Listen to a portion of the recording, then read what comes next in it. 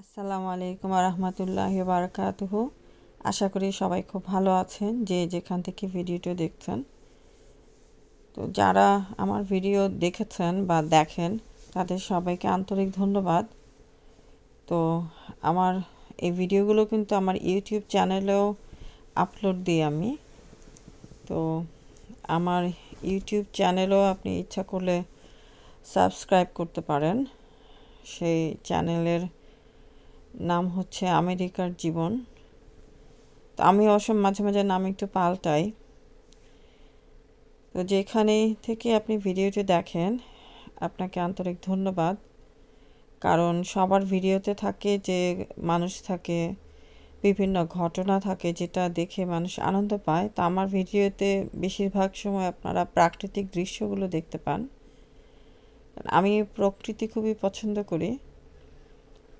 তো এই জায়গাটা হচ্ছে এখানে তিনটা রিভার একসাথে হয়েছে, তিনটা রিভারের জাংশন এই জায়গাটার নাম থ্রি রিভার্স পয়েন্ট বাসার কাছাকাছি। এবং এখানে খুবই নির্জন আর কি, যখন সাধারণত দুই একজন থাকে যে এখানে ফিশিং করে। তা আজকে সকালে এসে দেখলাম যে একজন বয়স্ক ভদ্রলোক উনি বসে আছেন। দুই তিনটা ফিশিং রড পেতে বসে আছেন। তো ওনার আয়োজন দেখে মনে হচ্ছে আজকে সারাদিন হয়তো এখানে কাটাবেন। তো এই দেশে যারা আসলে বয়স্ক, অনেক সময় দেখা যায় ওয়াইফ নাই, মারা গিয়েছে, একা থাকে একজন, বেশিরভাগ অনেক পুরুষ দেখি আর কি, এই যে উনি বসে আছেন। তো ওনারা সাধারণত ফিশিংয়ে অনেক সময় ব্যয় করেন। কি করবে আসলে? ছেলে মেয়ে হয়তো অনেক দূরে দূরে থাকে। তো খুব সুন্দর লাগছিল সকালের সিনারিটা তো মূসা গত এক সপ্তাহ ধরে অসুস্থ, আমার ছোট ছেলে। ওর হচ্ছে সে একটা ফিল্ড ট্রিপে গিয়েছিল। তারপরে আমার বড় ছেলে আসলো আবার একটু ঘুরতে গিয়েছিল। ঘুরতে যাওয়া মানে হচ্ছে তেমন কিছু না জাস্ট একটা ট্র্যাম্পোলিন পার্ক আছে এখানে কাছাকাছি। ওই স্কাই জোন ট্র্যাম্পোলিন পার্কে গিয়েছিলাম। একটা বড় অডি, রুমের ভিতরে ঝাপাঝাপি আর কি। তো সেটার ভিতরে দুই ভাই খেলা করেছে। তো ছেলেটা অসুস্থ হয়ে গেছে, ভাইরাল ফিভার এবং তার সাথে আসলে ছোট বাচ্চাদেরকে এই ভাইরাসগুলো অনেক দুর্বল করে ফেলে। তোর কাছ থেকে আমিও অসুস্থ হয়ে গেছে। গলা শুনে হয়তো বা বুঝতে পারছেন। তো এই নদীর ভিতর যে রিফ্লেকশনটা পড়ে, এটা দেখতে আমার খুবই ভালো লাগে। মানে এক ক্যামেরাতে যে, যেরকম দেখা যায়, সামনাসামনি আরেকটু হালকা দেখা যায়, কিন্তু ক্যামেরাতে বেশি সুন্দর আসে কালারটা আর কি এখন অনেক সময় অনেক কিছু না মানে এই যে আমাদের জীবনে অনেক কিছু রিফ্লেকশন কিন্তু হয়, অনেক ঘটনার দেখবেন। মানে আজকে এই যে রাজা, সে যে সারা জীবনে রাজা থাকবে তা না। তার রাজত্বও কিন্তু চলে যেতে পারে। পনেরো বছর রাজত্ব করার পরেও একজন মানুষকে অন্যরা হিউমিলিয়েট করতে পারে। তার নাম শুনলে অনেক আজে বাজে কথা বলতে পারে। এখন মানুষ যখন ক্ষমতায় থাকে, সেটা ঘরে হোক, বাইরে হোক, কোনো একটা অফিসে হোক বাসায় হাজব্যান্ড হোক, শাশুড়ি হোক ইট ইজ সবার ভিতরে যখন তাদের হাতে ক্ষমতাটা থাকে, তখন কিন্তু এই কথাটা তাদের মাথায় থাকে না যে ক্ষমতাটা দীর্ঘস্থায়ী না এক সময় না এক সময় সেটা চলে যেতে পারে। এখন মানুষ আসলে ক্ষমতায় থাকলে ক্ষমতার অপব্যবহার করে, সেটা বড় স্কেলেই হোক আর ছোট স্কেলেই হোক আর কি। সবার জীবনে এক সময় শেষ হবে। যেমন এখন গাজাতে যা হচ্ছে গাজার গন্ডি পেরিয়ে সেটা এখন লেবাননে চলে গেছে। মনে হচ্ছে নেতানিয়াহুকে থামানোর কেউ নাই। মানে তার ইচ্ছা সে করবে তো করতেই থাকবে। মানুষ মারতে মারতে এমন অবস্থায় গিয়েছে যে হসপিটালে আগুন দিয়ে পুড়িয়ে ফেলছে। দেখার কেউ নাই, বলার কেউ নাই, কিছু কিছু মানুষ বলছে র্যালি করছে। তাতে তার কর্মকাণ্ডের কোনো শেষ হচ্ছে না যে না, এটা বন্ধ করে, মনে হচ্ছে এটা একটা ইগো যে আমাকে বন্ধ করলেই বুঝি আমি হেরে গেলাম। অনেকেরই এইরকম একটা ব্যাপার আছে যে অনেকের ভিতরে ইগো কাজ করে। যে যখন খারাপ ব্যবহার বা খারাপ কথা, খারাপ কিছু করতে থাকে, তখন মনে হয় যে না if I stop it I just lose the battle actually না অ্যাকচুয়ালি আপনি যদি কোনো একটি খারাপ কাজকে আপনি নিজের থেকে বন্ধ করেন, তাহলে actually you are the winner you are not a loser এই ছোট্ট একটা ব্যাপার, ছোট্ট একটা কথা, কিন্তু যাদের ভিতরে ইগো প্রবলেম আছে, যাদের ভিতরে নার্সিসিজম আছে, তারা এটা মানবে না। নার্সিসিস্ট মানে হচ্ছে যে সেই ব্যক্তিটা কন্ট্রোল করতে চায় এবং নিজেকে প্রায়োরিটাইজ করে বেশি। তো এখন ধরুন কেউ খুবই খারাপ ব্যবহার করছে আজে বাজে কথা বলছে, নোংরা কথা বলছে। এখন তাকে কেউ থামানোর নাই, কেউ তাকে বলছে না যে, না you should not do it বা কেউ খুব খারাপ কাজ করে যাচ্ছে, অন্য আরেকজন কেউ বলছে না। মানুষ আসলে যদি অন্যরা কেউ অ্যাফেক্টেড না হয়, তখন আসলে বলে না। তো সেই জন্য সেই ব্যক্তিটি কিন্তু মনে করতে পারে যে, না, আমি যা করছি দ্যাটস রাইট আমেরিকা টাকা যোগান দিচ্ছে, বোমা দিচ্ছে, অস্ত্র দিচ্ছে, আর ইসরায়েল সে অস্ত্রগুলো প্রয়োগ করছে। এখন যারা ছোট ছোট কান্ট্রি অন্য যারা বলছে, সেই বলাগুলো তাদেরকে থামাতে পারছে না। কারণ তারা নিজেদেরকে মনে করে যে আমরা অনেক বড় নেতা এবং আমরা যা বলব সেটাই হবে। সব কিছুর এইন্ড আছে। একসময় নমরুদ, সে কিন্তু একটা বিরাট আগুনের কুণ্ড মানে তৈরি করে সেখানে ইব্রাহিম আলাইসাল্লামকে ফেলে দিয়েছিল। তো তখনও সেই দেশে নিশ্চয়ই অনেক লোক ছিল।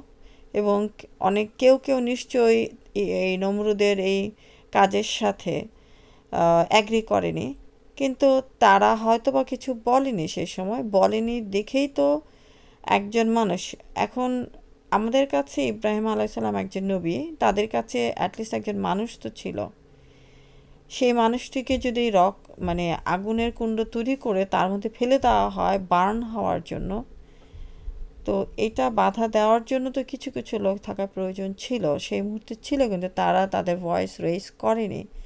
সেই কারণে কিন্তু ঘটনাটা ঘটেছিল।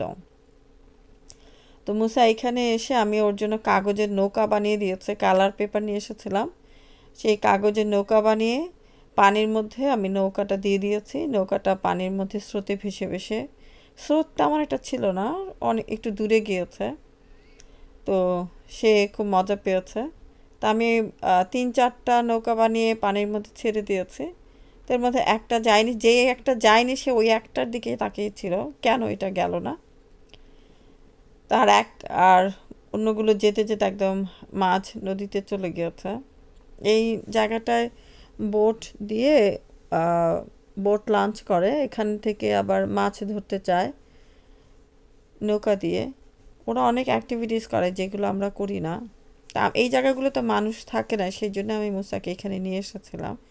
যে ছেলেটা এক সপ্তাহ ধরে বাসার ভিতরে অত্যন্ত বোর্ড এবং খুবই সিক ছিল, এখনও ভালো হয়নি। তো এখানে এসে একটু যদি সে খেলে, ওর ভালো লাগবে।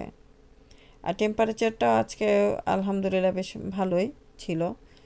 তো যাই হোক, তো যেটা বলছিলাম যে মানুষ যখন ইব্রাহিম আলাইসলামকে ছেড়ে দেওয়া হলো ওই আগুনের কুণ্ডের ভিতরে, উনি কিন্তু বলেছেন যে, আমার জন্য আল্লাহ যথেষ্ট।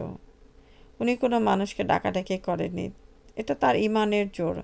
আমাদের ইমানের জোর অনেক কম আসলে। আমাদের ইমান অনেক ওঠানামা করে।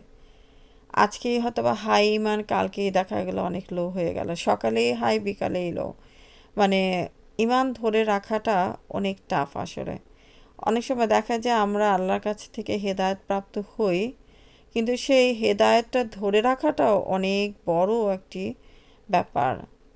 সেটা চর্চা করতে হয়, যে যে ইমানটাকে মানে প্র্যাকটিস করতে হয় আসলে। নিজেকে নিজে শক্ত রাখতে হয়। এখন অনেক সময় দেখা যায় যে কেউ হয়তো বা খুবই স্লিভলেস ব্লাউজ পরে কোনো একটা প্রোগ্রামে এসেছে বা সে পর্দার এগেনস্টে কথা বলেছে।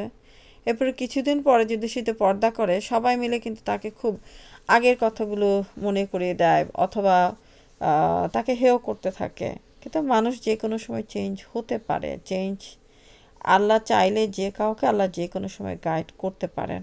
কিন্তু গাইডেন্সটা চাইতে হবে। আল্লাহর কাছে গাইডেন্স চাইতে হয়। আল্লাহ তোমাকে গাইড করো। অনেক সময় গাইডেন্স না চাইতেই আমরা পেয়ে যাই এবং তখন সেটার ভ্যালু আমরা বুঝতে পারি না যে, না, এটা যে কত আসলে ভ্যালু তো কাউকে ছোট করে দেখা উচিত না আন্ডারমাইন করে কথা বলা উচিত না।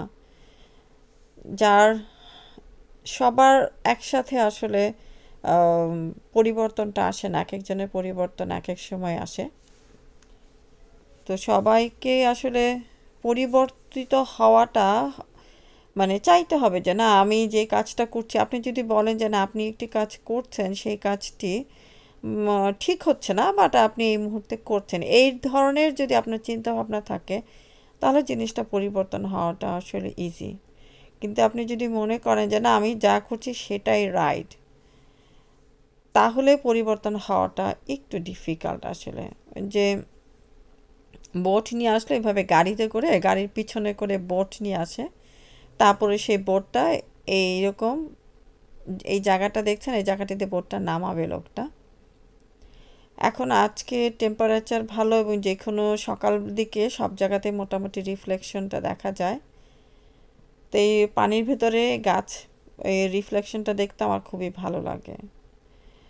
মনে হয় যে এখানে যদি আসলে নৌকা নিয়ে একটু ঘুরতে পারতাম, ছোটোবেলায় নৌকায় চড়তে খুব ভালো লাগতো।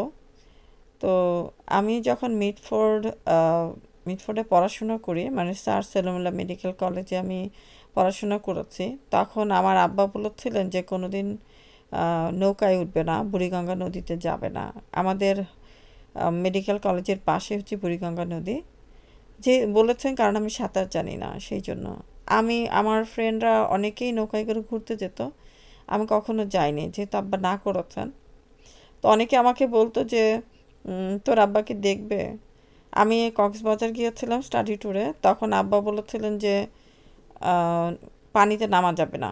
কারণ আমি সুইমিং জানি না, সেটাই রিজন তো আমি তখন পানিতে নামছি না, তখন আমার ফ্রেন্ডরা খুব টিস করতো যে, তোর আব্বা তো এখানে নাই, পানিতে নামলে কি হবে? তো আসলে আমার আব্বা খুব ভালো মানুষ ছিলেন। আব্বা যেটা বলতেন সেটা আমি জানি যে আব্বা ভালোর জন্য বলেছেন। এবং এটা আমার মঙ্গলের জন্যই। একজন ভালো বাবা পাওয়াটা অনেক বড় ভাগ্যের ব্যাপার। আমার ভাগ্য ভালো যে আমি একজন ভালো, সৎ অনেস্ট অমায়িক ইসলাম প্র্যাকটিসিং ফাদার পেয়েছিলাম।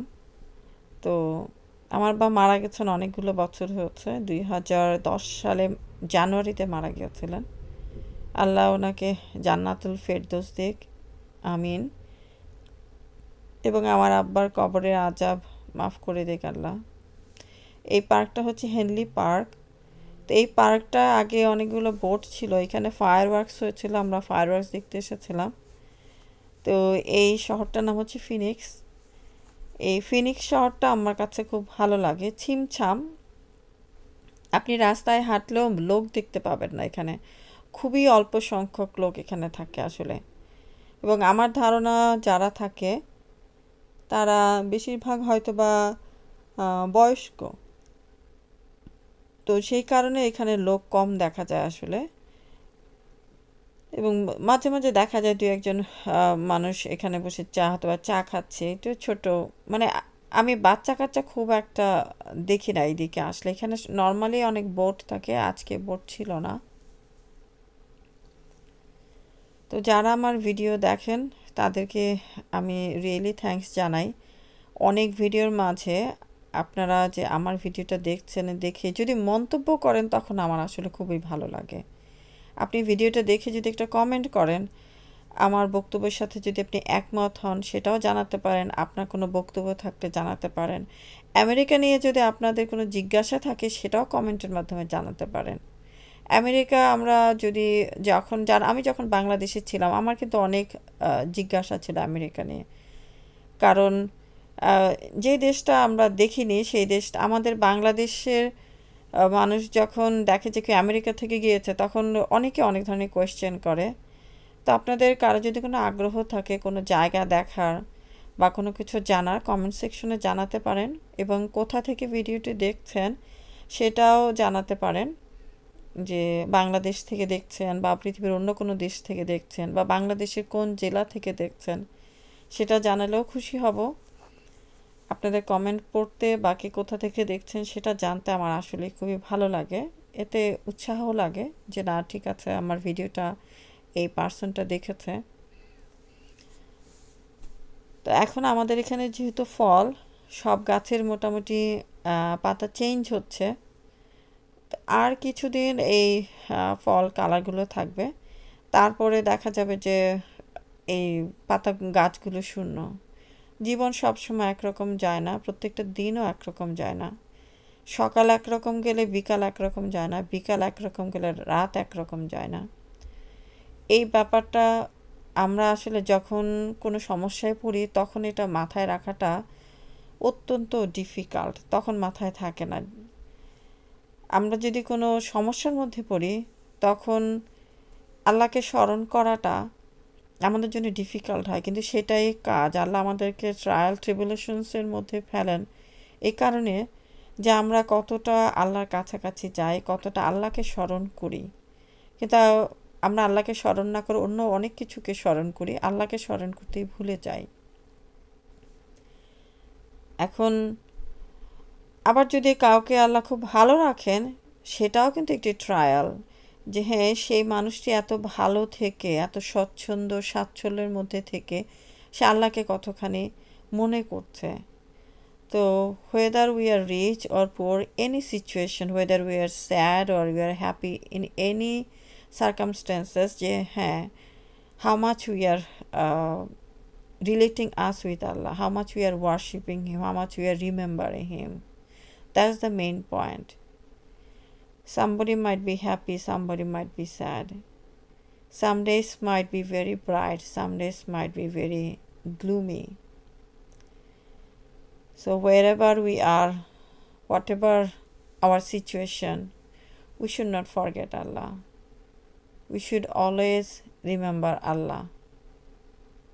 আমরা তো আল্লাহর জন্য এই দুনিয়াতে বেঁচে আছি আসলে। সবাই ভালো থাকবেন, সুস্থ থাকবেন, ভিডিও দেখার জন্য